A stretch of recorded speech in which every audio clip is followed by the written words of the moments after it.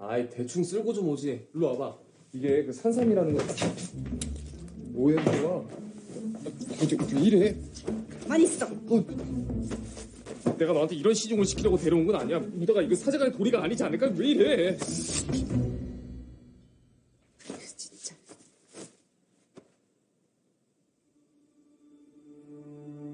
뭐 하는 거야 지금? 신수원을 살피는 거야.